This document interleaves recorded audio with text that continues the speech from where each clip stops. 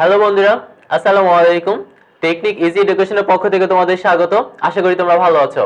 তো আজকে আমি তোমাদের পঞ্চম অধ্যায় থেকে একটা সৃজনশীল সলভ করাবো।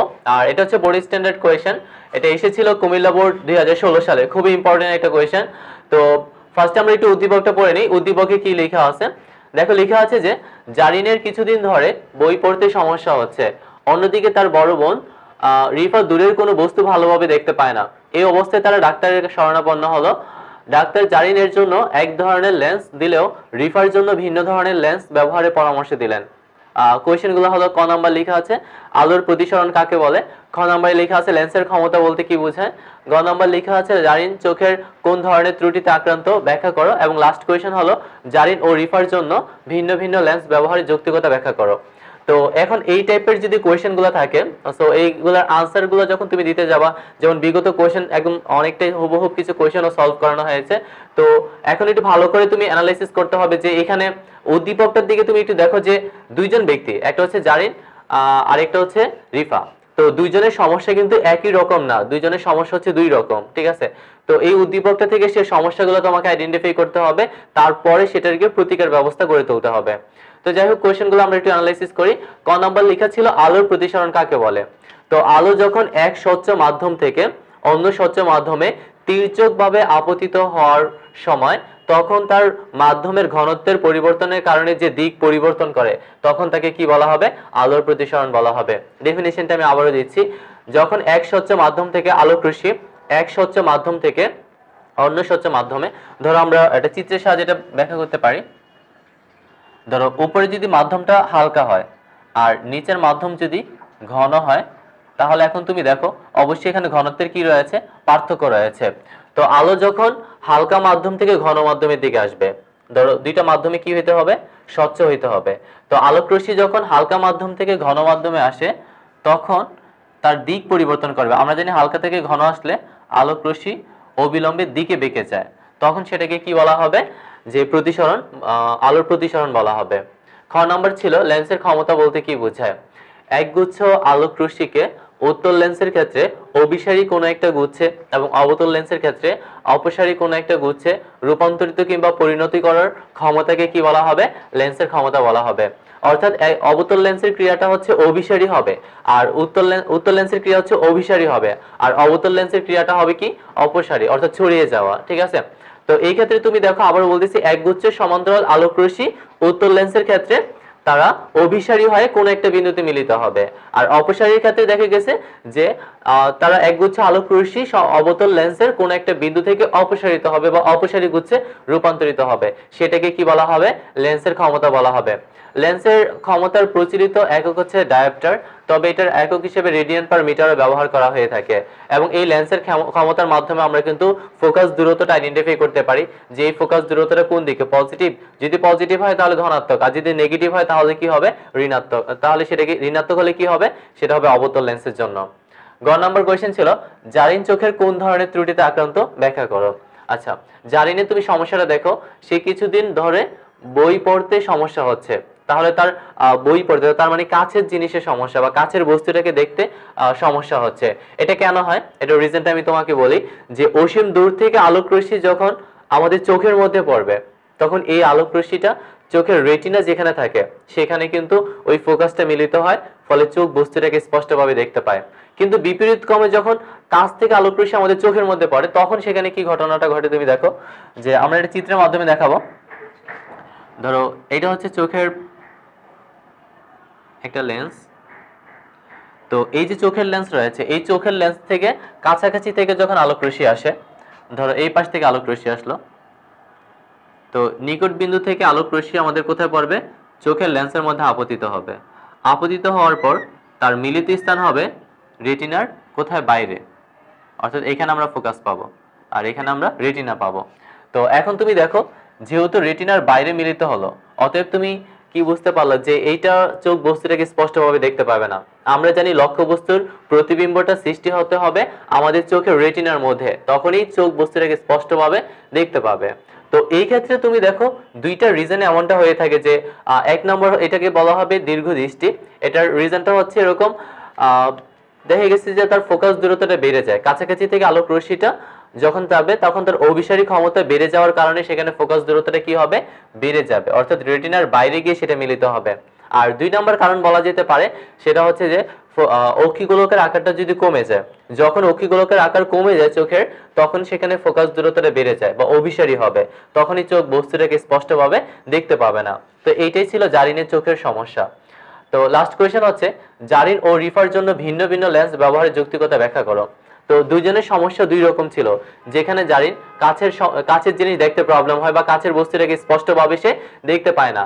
আর অন্যদিকে রিফা, সে হচ্ছে দূরের বস্তুটাকে স্পষ্টভাবে দেখতে পায় না। তাহলে দুইজনের সমস্যা যেহেতু দুই ধরনের, তাদের প্রতিকারও কিন্তু দুই ধরনেরই হবে। তো এই ক্ষেত্রে জারিনের যে সমস্যাটা ছিল সেটা আমরা সলভ করাই। যে জারিনের যেহেতু দূরের বস্তুটাকে সে ভালোভাবে দেখে বাট কাছের বস্তুটাকে সে ভালোভাবে দেখে না এই জন্য ডাক্তার তাকে যে ধরনের চশমার ব্যবহার দিয়েছেন সেটা হচ্ছে কোন লেন্স সেটা হচ্ছে উত্তর লেন্স আর এই উত্তর লেন্সই করতে পারে সেই সমস্যার সমাধান। এটা কীভাবে সম্ভব তুমি দেখো।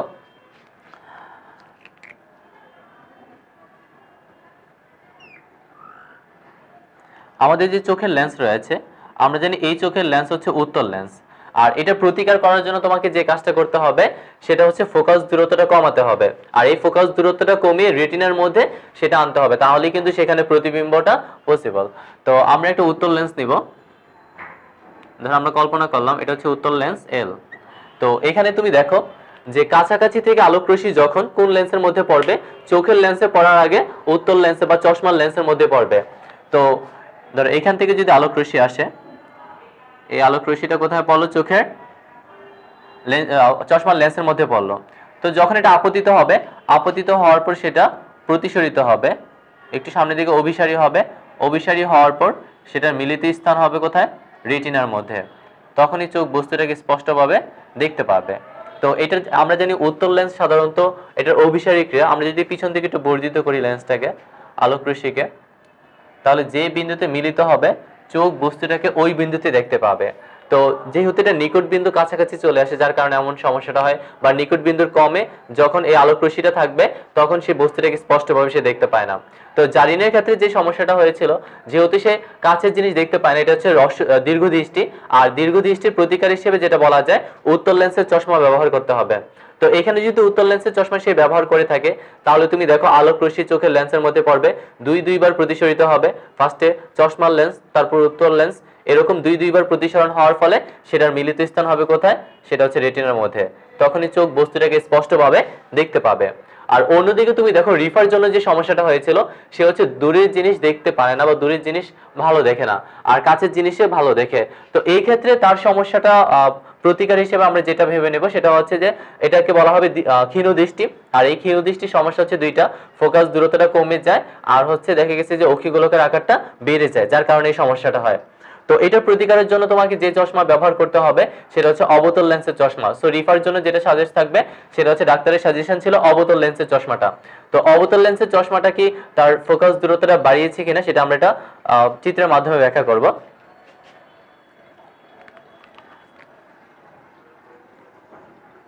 এখানে তুমি দেখো আমাদের যে চোখের লেন্স রয়েছে, এই চোখের লেন্স সেখানে দেখেছি যেহেতু ফোকাস দূরত্বটা রিভার ক্ষেত্রে ফোকাস দূরত্বটা কোথায় তৈরি হবে? রেটিনার ভিতরে তৈরি হয় বা রেটিনার সরি ভিতরে না রেটিনার সামনে তৈরি হয়। তো এই ক্ষেত্রে এটার ফোকাস দূরত্বটা কি হতে হবে? বাড়াতে হবে। আর এই জন্য যে চশমাটা ব্যবহার করতে হবে সেই চশমাটা কোন লেন্সের হবে? অবতল লেন্সের তো অবতল লেন্সের চশমা ব্যবহার করলে দেখো তুমি কি হয়? অসীম দূরত্ব থেকে আলোক রশ্মি ফার্স্টে আমরা জানি কোথায় পড়বে? চোখের লেন্সের মধ্যে পড়বে।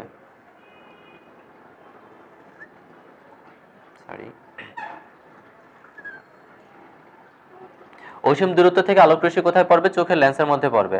তো যখন চোখের লেন্সের মধ্যে পড়বে, পড়ার পর সেটা কি হবে? অপসারী হবে। আমরা জানি যে উত্তর লেন্সের হচ্ছে অভিসারী ক্রিয়া হয়, আর অবতল লেন্সের হচ্ছে অপসারী ক্রিয়া হয়। মূলত এই দুই ধরনের ক্রিয়ার ফলেই কিন্তু সেখানে ফোকাস দূরত্বটা কি হবে? বেড়ে যাবে। তাহলে এটা হালকা একটু বেঁকে যাবে এদিকে। তখন সেটা সামনে গিয়ে কোথায় মিলিত হবে? রেটিনার মধ্যে গিয়ে মিলিত হবে। তখনই চোখ বস্তুটাকে কি করতে পারবে? স্পষ্টভাবে দেখতে পাবে। তো এই ক্ষেত্রে তুমি দেখো, যেহেতু ফোকাস দূরত্বটা কম ছিল এখানে থাকবে রেটিনা।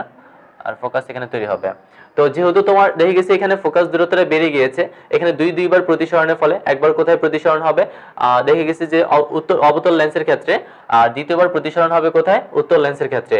এরকম দেখে গেছে এটার হচ্ছে অপসারী ক্রিয়া, উত্তর লেন্সের সরি অবতল লেন্সের আর উত্তর আমাদের চোখের লেন্স হচ্ছে উত্তল সেটা হচ্ছে অভিসারী ক্রিয়ার বিপরীতে কাজ করে, যার কারণে চোখ বস্তুটাকে স্পষ্টভাবে দেখতে পাবে। আমরা যদি অবতল লেন্সের রশ্মিগুলোকে একটু পিছন দিকে বর্ধিত করি, তাহলে তারা যে বিন্দুতে মিলিত হবে চোখ বস্তুটাকে ওই বিন্দুকে ওই বিন্দুতে দেখতে পাবে। এইভাবে রিফা এবং হচ্ছে জারিন তাদের চোখের যে সমস্যা রয়েছে সেই ত্রুটি দূর করতে পারবে শুধুমাত্র লেন্সের মাধ্যমে। ফোকাস দূরত্ব বাড়িয়ে কিংবা কমিয়ে। তো ডাক্তারের সাজেশনটা আসলে ভালো ছিল এবং ডাক্তার লেন্স ব্যবহারের পরামর্শ দিয়েছিলেন যাতে করে এই ফোকাস দূরত্বটা কোনো ক্ষেত্রে বাড়ানো লাগতে পারে বা কোনো ক্ষেত্রে কমানো লাগতে পারে। তো দেখে গেছি, রিফার ক্ষেত্রে ফোকাস দূরত্বটা জারিনের ক্ষেত্রে হচ্ছে ফোকাস দূরত্বটা কমানো লেগেছিল, আর রিফার ক্ষেত্রে হচ্ছে সেই ফোকাস দূরত্বটা বাড়ানো দরকার ছিল। আর এই দুই ক্ষেত্রে সেটার সমাধান দিবে কে? লেন্স। তো আশা করি এটা তুমি ভালোভাবে বুঝতে পারছ কিংবা আত্মস্থ করতে পেরেছ। তো পরবর্তী ক্লাসগুলোতে আমরা আরও কিছু সৃজনশীল নিয়ে কথা বলব। তো সে পর্যন্ত সবাই ভালো থাকো, সুস্থ থাকো। সবার জন্য শুভকামনা। আল্লাহ হাফেজ।